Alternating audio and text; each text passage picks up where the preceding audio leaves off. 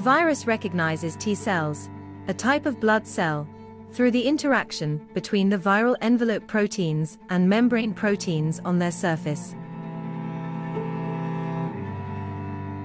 The first binding occurs through the membrane protein CD4, in yellow, which is followed by binding to another protein, called the co-receptor, in orange, which triggers a dramatic change in the shape of the viral envelope protein. This conformational change allows the envelope protein to insert itself into the T cell membrane and then, by folding, force the fusion of the viral membrane with the cell membrane.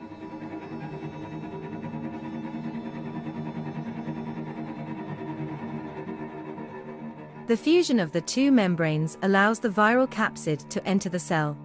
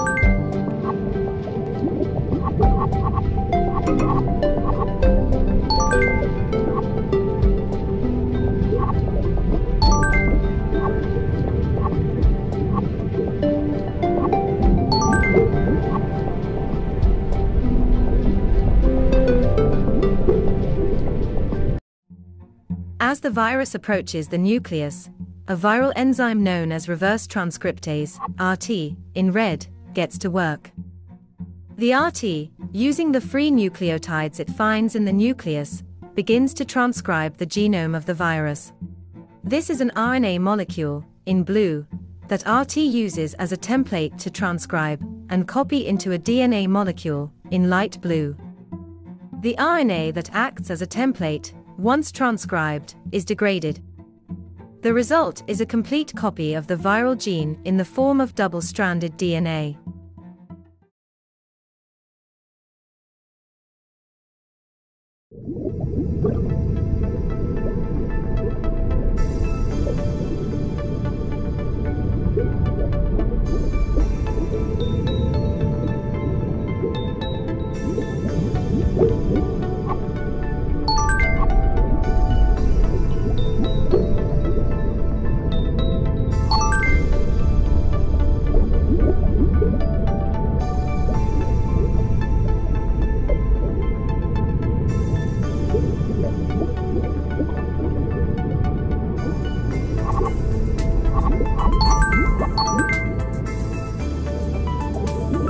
The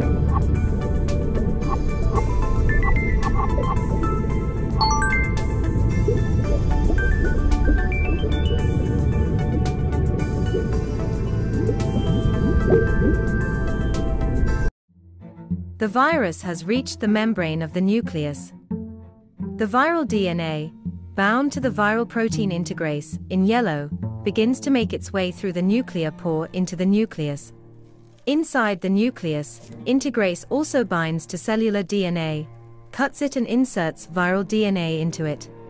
The viral DNA integrated into the cell's DNA is called a provirus, and it can be activated immediately or remain dormant for days, weeks, or even years.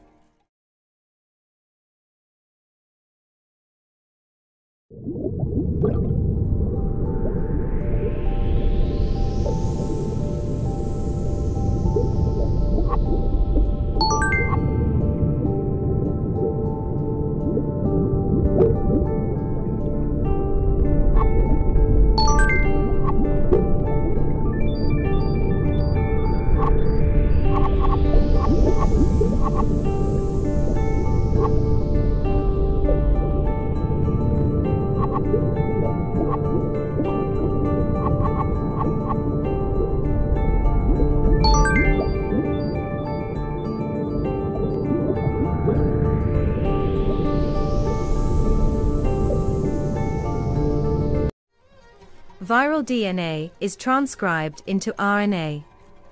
It contains a sequence that binds to the Rev protein, in pink, which interacts with other cellular proteins to carry the viral RNA towards the nuclear pore allowing it to exit the nucleus.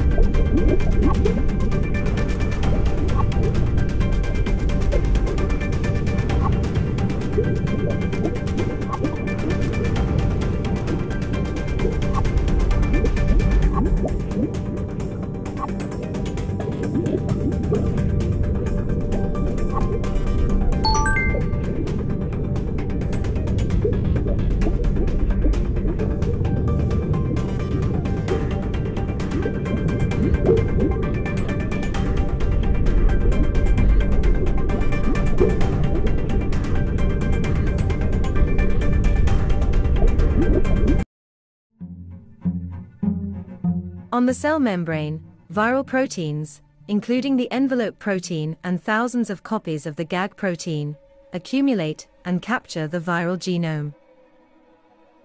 Meanwhile, the GAG protein also forms a tightly packed lattice that forces the membrane to protrude.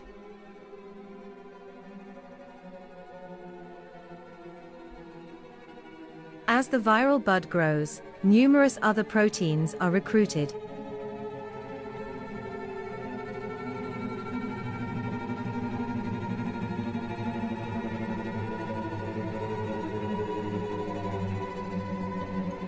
When the viral bud is formed, proteins appear that, by constricting the cellular membrane at the neck of the bud, cause fission of the membrane and release of the bud itself.